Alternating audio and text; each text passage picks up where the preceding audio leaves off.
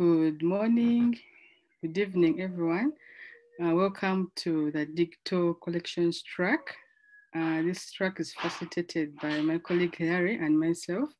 Uh, Hilary is a resource sharing librarian at Stanford University, and myself, I work as the head library and documentation center at public procurement and disposal of public assets. Uh, we have three sessions beginning today and continuing throughout Wednesday and, fr and Friday. We are especially excited about the projects in this track uh, because as we are aware, digital collections are more important than ever in our current environment. Um, they make GLAM institutions more accessible to a broader audience. And also linked data is very crucial for making connections with, within and across uh, collections, but uh, they can also bring challenges of its own uh, when working with heterogeneous sets of metadata. Uh, when we discover the workflows, tools, and models that the projects in this track have successfully created and managed, uh, linked data also helps to improve discovery in the various digital collections. Uh, you'll find a link, there are some links here on our screen uh, to the full conference schedule and also to the conference website, the Twitter handle, the Slack invites, and also uh, guidelines for the community uh, participations. Uh, we are also following the LD4P community participation guidelines as you, you're seeing on the screen. You just have to click there and access it. Um, if you would like to ask any questions or make any comments uh, following today's presentation, you may use the Zoom raised hand feature uh, if you like to speak, or also to have a Q&A panel to ask a written question. Uh, welcome you once again. I would like to invite my colleague Larry to introduce Bethany. Thank you. We're delighted to have Bethany Radcliff um, and her presentation, AudiAnnotate, Linked Data for Sound. Bethany is a graduate student at the University of Texas at Austin, where she is completing an MS in Information Studies and an MA in English. Bethany's interests focus broadly on digital humanities, metadata, archival theory, sound, and accessibility. Bethany works as a graduate student. Uh, Bethany works as a graduate research assistant at the Harry Ransom Center and as a graduate assistant in the English department with Dr. Tanya Clement on AudiAnnotate. Upon her graduation in 2021, Bethany plans to continue uh, working with digital projects and metadata in archives, libraries, or special collections. Let's see. Looks like, did Bethany drop off?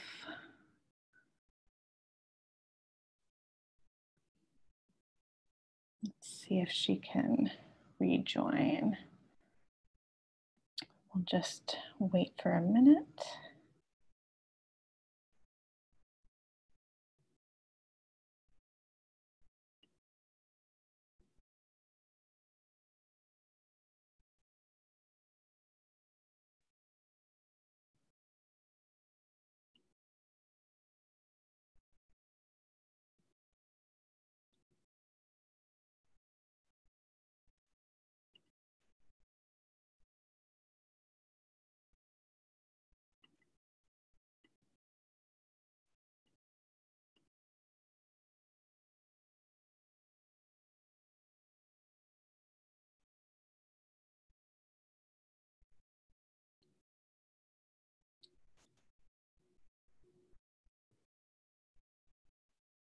All right, we'll just wait another minute and see if Bethany can rejoin. She is reconnecting. It sounds like her Wi-Fi went out, so hopefully she'll be joining us very shortly. Thank you for your patience.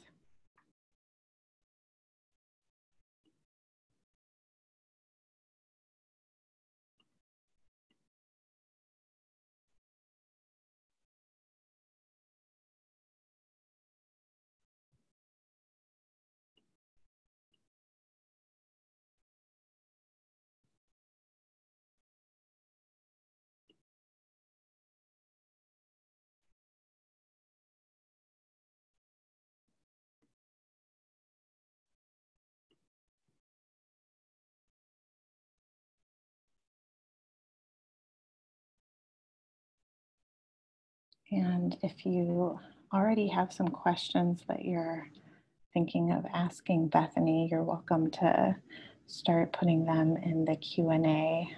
Um, or uh, if you're interested in audio materials or working with some audio collections and want to share what you're working on in the chat, we could have a little impromptu discussion before Bethany rejoins.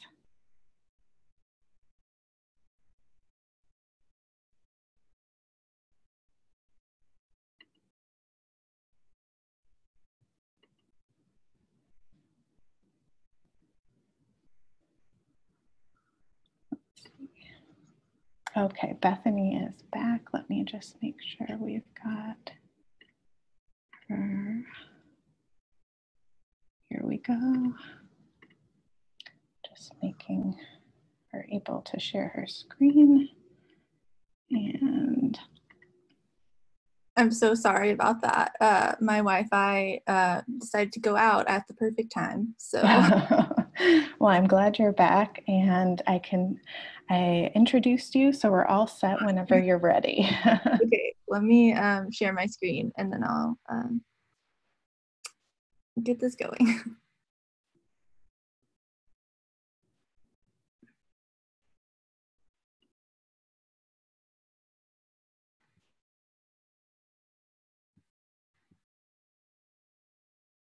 Okay. Can anyone see my screen or am I frozen again? I hope not. I can I can see and you're okay. You're awesome. Good. Um, just let me know if I freeze up or something. I think my bandwidth is really low, so I actually turned off my video. But um, today I'm going to present about uh, AudiAnnotate, which is a project that I'm part of. Um, and I will be talking about linked data for sound. Uh, let me just go to the next slide. Uh, today I'll introduce you to the tool, um, a quick introduction and then a demo. And then I'll talk about how we use uh, linked data through IIIF um, and about our documentation. And then we'll have some time for a Q&A. So the AudiAnnotate uh, project uh, team members are uh, Dr. Tanya Clement, who is a professor in the English department at the University of Texas, Austin, um, and also has a project called HiPSTAS, which is High Performance Sound Technologies for Access and Scholarship. Ben Brumfield and Sarah Brumfield are the um, co-leads of this project of Brumfield Labs. I'm a graduate research assistant. Another graduate research assistant is Liz Fisher, and our undergraduate research assistant is Kylie Workington. Uh, um, Bethany, could you maximize your browser for us? Oh, yes. Is and that better? Yes, that's great. Okay. And could you paste a link for the slides in the chat too, just in case anyone wants yeah. to follow on? Thank you so much. I meant to do that earlier. Oh, no problem. Um,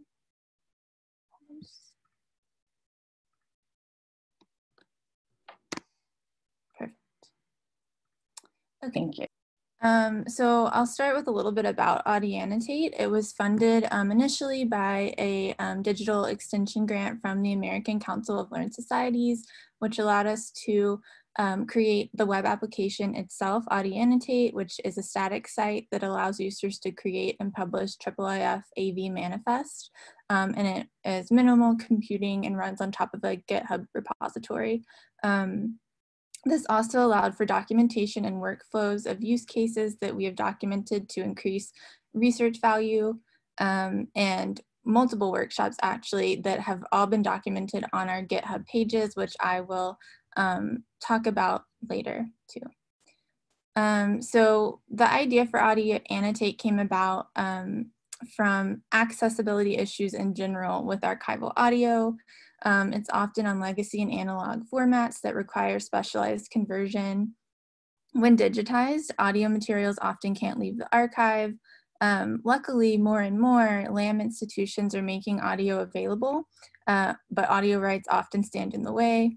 And overall, because of all of these issues, a lack of descriptive metadata exists and contributes to this deficit in accessibility. Um, so Having all of that in mind, the goal of AudiAnnotate is to create a way for researchers to collect, store, and aggregate notes about audio recordings along with timestamps from archival audio. um, AudiAnnotate allows users to upload metadata that's associated with those audio recordings. Like I said earlier, it's a static site um, and it was created using Jekyll um, and GitHub pages. It doesn't hold data and it runs on top of a GitHub repository. And right now it's only available for use on openly accessible audio for which an MP3 link can be provided. So in order to make some of that make sense, I'm gonna show, I'm gonna start with a quick walkthrough before I talk about the more technical aspects of it. And I pre-recorded this because sometimes um, connectivity issues uh, make the application not work so well. So I will show you how to make this bigger and go ahead and play it. You use the AudiAnnotate application. And this is assuming that you already have annotations ready um, and available. Um, if you don't know how to do that, we actually have documentation here on how to um, use Audacity, particularly their label track feature, to create um, audio, uh, annotations for your audio that can be uploaded onto AudiAnnotate. And we have resources and demonstration videos of how to do that here. Um, so I'm going to go back to the application and assuming I'm ready to create my project, I will click sign in. This will take me to GitHub where I will authorize um, to make changes and to create a GitHub repository. When I click sign in, it'll redirect me back to the AudiAnnotate application. Um, and then these are my tiles of my already existing projects. Um, I'm going to create a new project by clicking this button here. And I'm going to be using Margaret Atwood Spoken Web um, from Spoken Web in Canada. Um, and this is a Margaret Atwood audio. So uh, I'm just going to call this Spoken Web project. Maybe in this project, I'm going to be using multiple uh, sounds from uh, the Spoken Web um, resources. So I'll just give it a simple description. I'll say audio annotations from uh, spoken web audio. Or oops, I'm going to spell spoken web right too.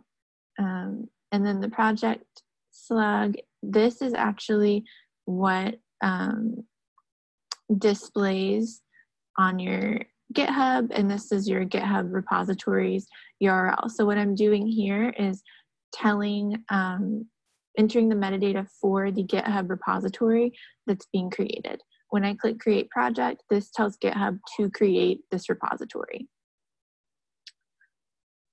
It might take a minute. Um, so we'll just wait on that.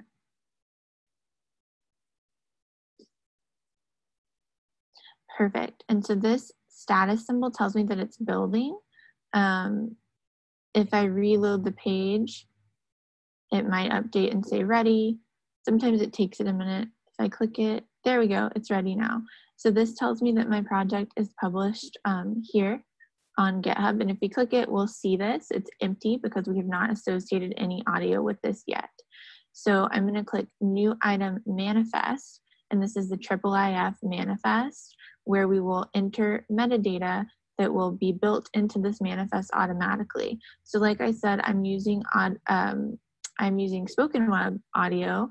If I can get to that tab on the screen share, perfect. So this is the Margaret Atwood Spoken Web 1974 audio that I'm gonna be using. So I'm gonna grab that title and I'm gonna paste it here. I'm gonna take out the comma just in case that's an issue. I don't think it is. So we need an audio file URL. Audio in AudiAnnotate in this application is not stored. We don't store any audio. You can't upload a file. You have to use a direct publicly available link to that file.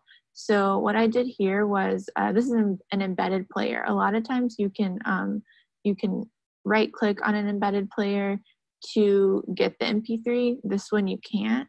So I actually went to the page source and was able to access this. This is what you want. You want something with a .mp3, a direct link to that audio. So I'm going to copy that and going to add it here to the audio file URL. I also need to know the duration, so I'm going to look back at that. It's 5946. I think I've used this sound before, so it'll probably pop up. Um, and now we're going to enter some metadata uh, on the provenance of this audio. So I'm going to get this homepage where the audio project is. Uh, the provider is Spoken Web Montreal. And then the provider URL, I'm going to paste that same file and just delete, or that same link and just delete the uh, rest of the link. So I get their homepage and I'm going to save that. Uh, when I click save, this data will be published into our GitHub rep repository, uh, into this uh, manifest, this IIIF manifest. And might take a minute, that was fast. So I'm gonna actually open this up and show you what this looks like. So this is our GitHub pub, uh, pages site.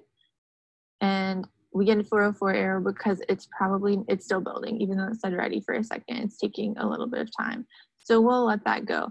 Uh, while that's building, I will actually see if we can view the manifest. This is the manifest that I just created using that information that we uploaded.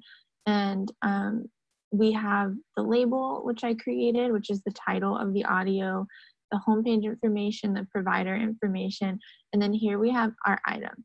And this is the um, IIIF Canvas. It has a duration um, and it has the um, uh, it's associated with the um, audio and the sound.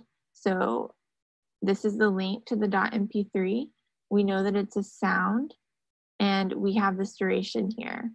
Um, the target is the canvas. So once we add annotations, this will be the target for those as well. Um, so now that this is ready too, I can also show you the GitHub page and what that looks like. We haven't added annotations yet, but this is our player if I click play, the audio plays. Um, and once we add annotations, this will make a lot more sense. Um, and um, yeah, that's pretty much it. So now we're going to add annotations. So I'm just gonna call this uh, layer one, and we don't wanna have any spaces in this title. Um, you can use underscores. Spaces create some confusion with the player. We're going to choose a file and let's see if I even know what I'm getting here.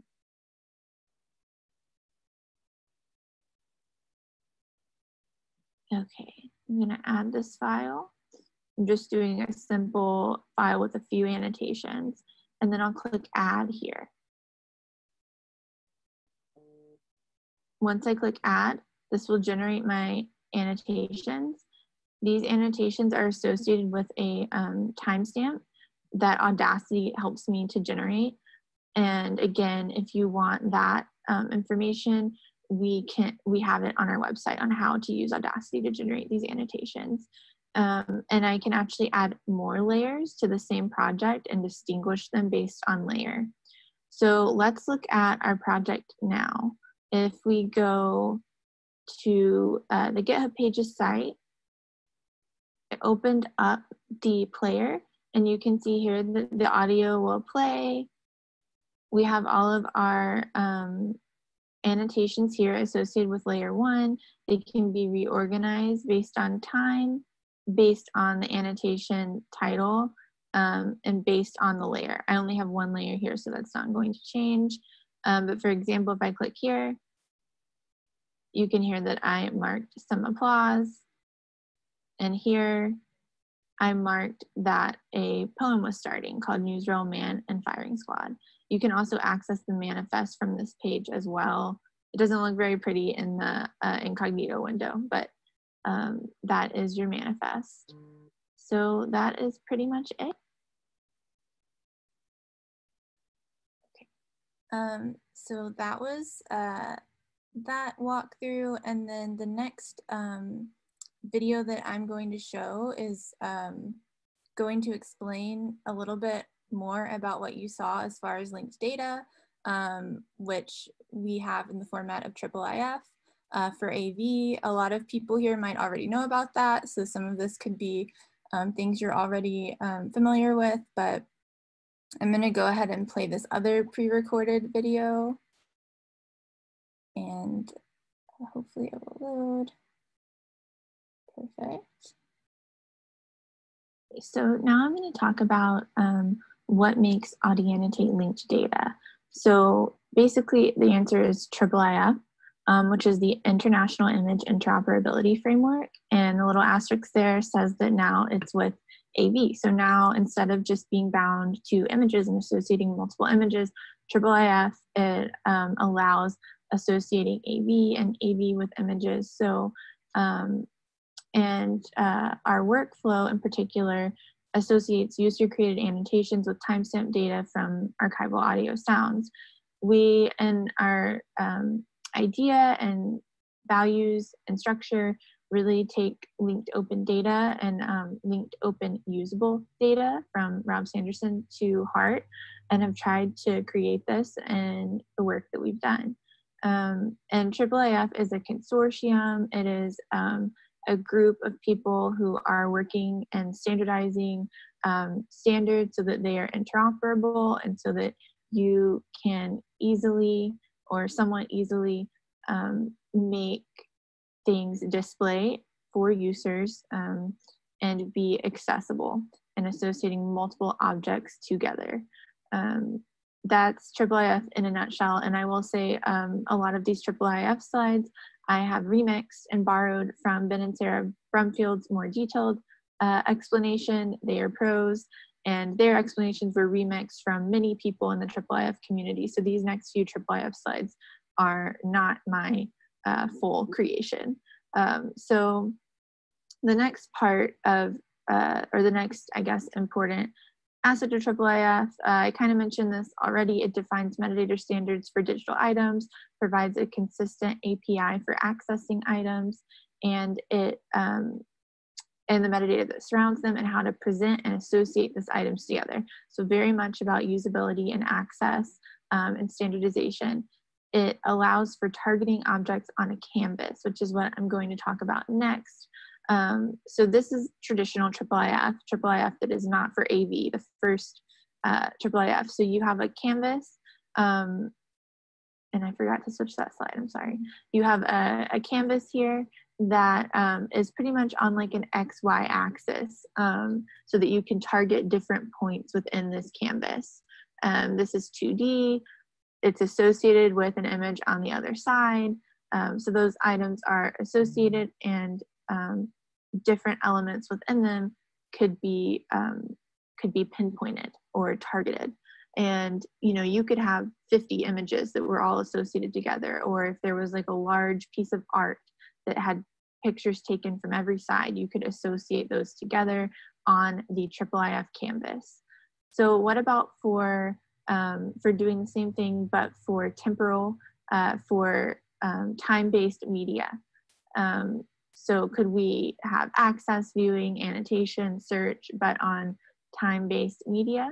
And um, the answer for that is yes. And so this is a um, kind of the idea of a canvas with duration. So rather than it be image-based, um, it it now has a direct um, a time and you can see that here in seconds. So we still have our canvas, we still have our canvas size, um, it's spatial and it's temporal. It has um, a time where things can be targeted uh, and pointed to within this canvas. Um, and so I'm going to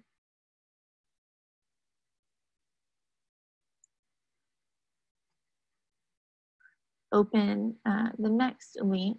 So a IIIF manifest is the standardized machine readable structure that connects the canvas, and in our case, the temporal canvas, to the user created and uploaded annotations. So I've put a link here um, to one of those manifests. Let's see if I can get that to open and look pretty. Yeah, so this is the manifest you, uh, it's also in the walkthrough. Um, you can see that I have a, um, an item, a canvas, uh, the duration here, uh, and it's targeting that sound that, uh, that is with the, um, that is with the canvas. So this direct link to the sound and the duration. Um, and again, this is the body the sound is the body, the canvas is the target.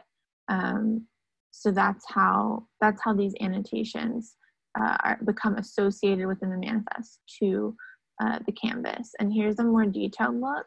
This is actually from um, if you go to the GitHub data that's stored in the repository, and I think I actually linked out to that. Let's see. So this is the um, published in the repository publicly that you allow AudiAnnotate to have access to.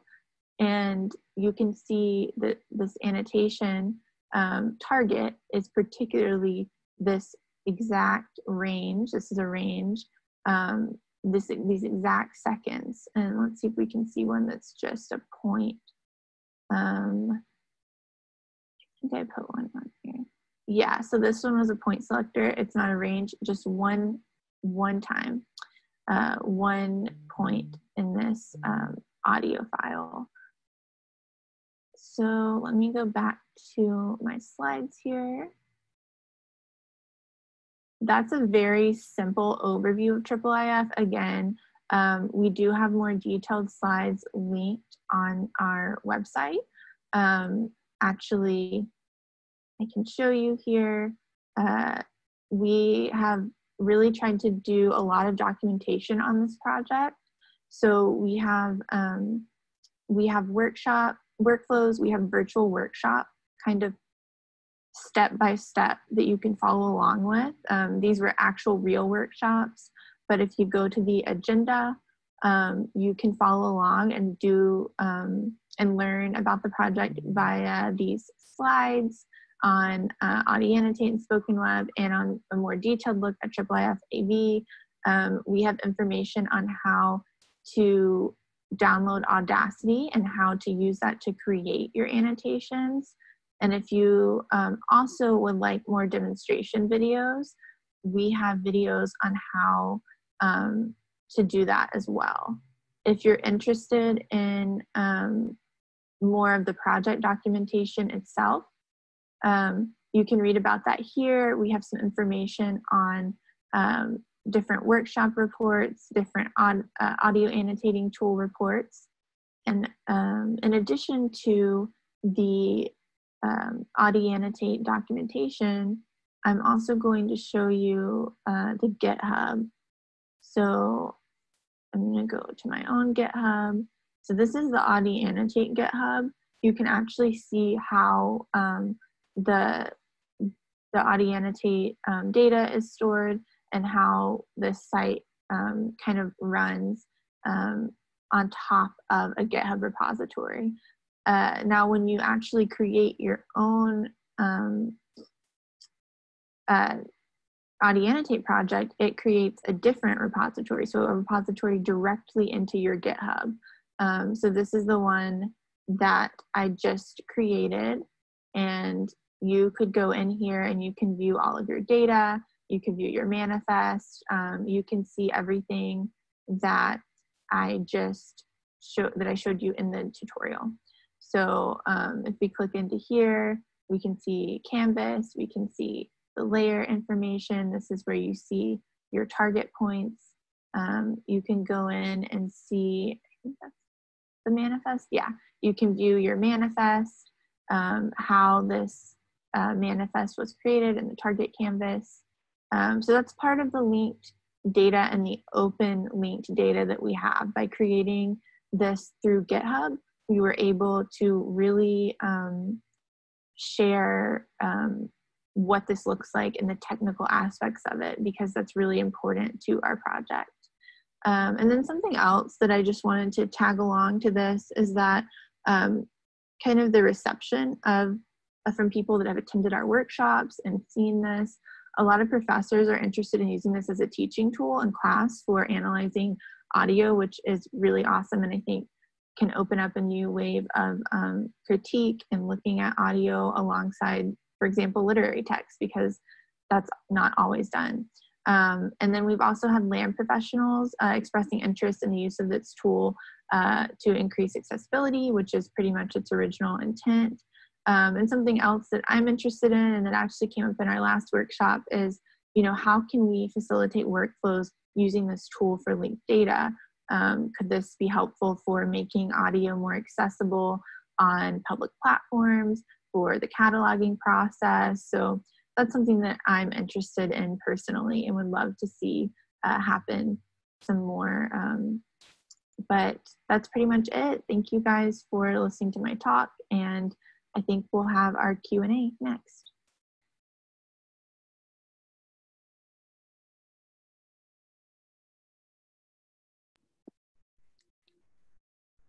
Okay. I hope everyone could hear that um, and that I didn't freeze up on anyone during that time.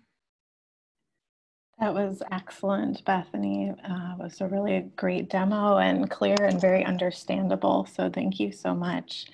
Um, it looks like we have some questions in our Q&A and some comments in chat that uh, everyone was able to hear it and it was fantastic and great stuff. So um, let's see. Uh, so we have some in the Q&A panel if you want to follow along. We have, do video files share some of the same accessibility problems as audio files and could AudiAnnotate be used for video? Yeah, um, I definitely think video files uh, in an archival setting do have a lot of the same issues. Um, right now, uh, the technology and the capability of a IIIF manifest allows um, for video to be used, but on the way that uh, AudiAnnotate displays, we do not have a way to show the video. Um, I've actually attempted using a YouTube um, file before and it looks like it's working and then the sound won't play and the video um, cannot play. But uh, that would be a very um, valuable um, intro, like expansion to look into. Um, I'd be curious about making that work. And it looks like the next one from Huda, is there a possibility for adding annotation text real time, i.e. not as a file, but in a text box? Would that be supported by the underlying technology now, if not in the interface? And she follows up, it appears so looking at the explanation of the manifest right now, it seems to be storing value and or label for annotations and not necessarily file URLs. Yeah, I mean, it. we've only ever um, use this in a way where we upload an existing uh, TSV or TXT mm-hmm. file. Um, and uh, that's that's our workflow, but I I could see that potentially being um, you know a valuable direction, and I think the Brumfields would definitely have a more thorough answer on that. Um, but that's a great question. Thank you for asking. And it looks like our next is what is the data format in the annotations.txt layer file? Um, the the one that I uploaded, is that the question? Um, the the text files that I uploaded are um, a TSV and they're format they're formatted as like um, a tab delimited file. Um, and AudiAnnotate actually is what we use to generate them, but you could you could do it by hand. Um, as long as you have a timestamp in one column and then the annotation in the next column, and that's all you would need. And then from Jesse, thank you so much, Bethany. I really appreciate these integrations with GitHub. Are you investigating an archival element in these project workflows, say at the Wayback Machine?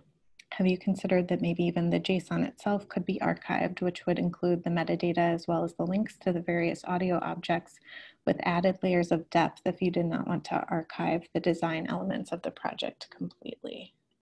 Um, we have not considered that, but that's a really interesting thought um, when it comes to, um, you know, archiving this overall. Um, and I will definitely note that. Thanks for bringing that up.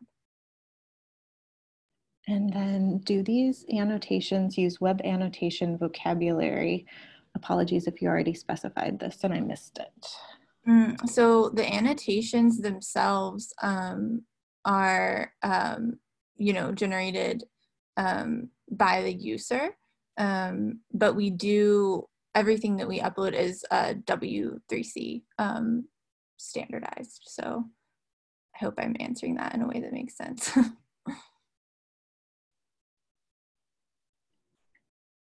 it looks like there's another from Steve. I'm working with a group who is interested in annotating biodiversity related sounds like bird songs.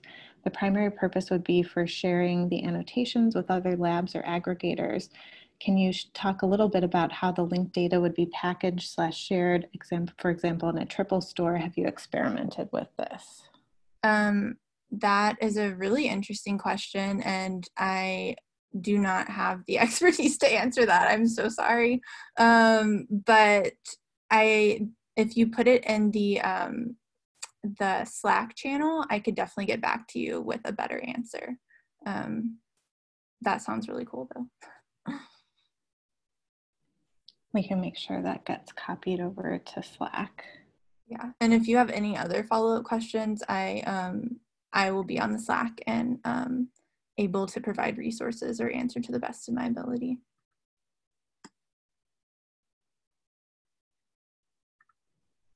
Looks like these are all the questions that have come in so far. Does anyone have any final questions? Oh, looks like there's another. Using image as a target may have been a funny hack. Would you have liked target to be audio duration? Um, I'm not sure if I know exactly what this question is asking. Um, but the target, uh, the, the time stamp on an audio um, is what allows it to be associated with the man with the canvas, if that helps at all. um,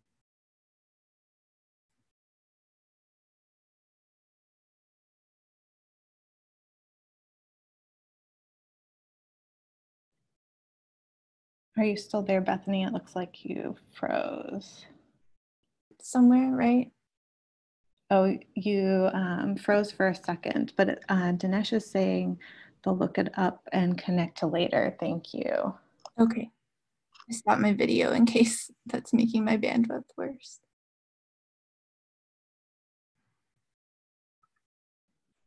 Are there any additional questions? Um, we will post the link to the presentation in the session description, as well as the recording once it's available on YouTube.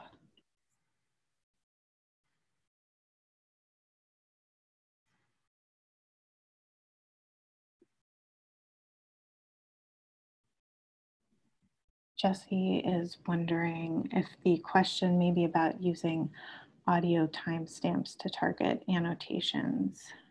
Mm.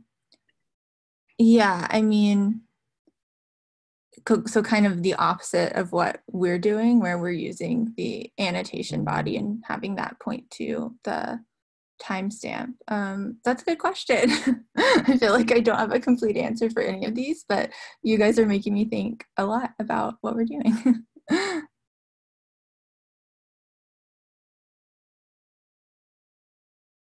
Are there any other questions?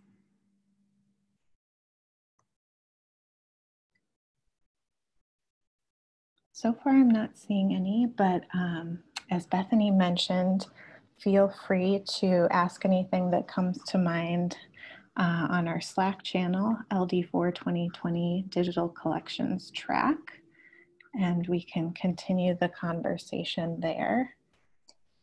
Definitely. And um, I'll put my email here too. If anyone has any questions, I just put that into the chat. Um, and yeah, I'm also pretty active on Twitter. Um, I can put my Twitter handle too. Uh, it's mostly just like, you know, library stuff. Thank you so much, Bethany, for this excellent uh, tool demo and presentation today really enjoyed it. And um, thank you for kicking off our digital collections track. We'll have uh, two more sessions uh, Wednesday and uh, Friday. I'll just share the our track schedule here. So on Wednesday, we'll have Looking Beyond LC Wikidata for metadata reconciliation and enhancement, and then using IIIF to help improve uh, search and discovery of digital cultural heritage material. And then on Friday, We'll have content enrichment of institutional repository records consuming linked data and data-driven semantic dam indexing incorporating statistical play-by-play -play game logs. So we have a diverse set of presentations and content, so I hope we'll see you later in the week. And in the meantime, we can continue the conversation on Slack. And thank you so much, Bethany, for getting us started today. It was great. Thank you so much. And I'm really excited to be a part of this. Thank you. Take care, everyone, and we'll see you on Slack or at the very least on Wednesday. Awesome. Bye, everyone. Bye bye.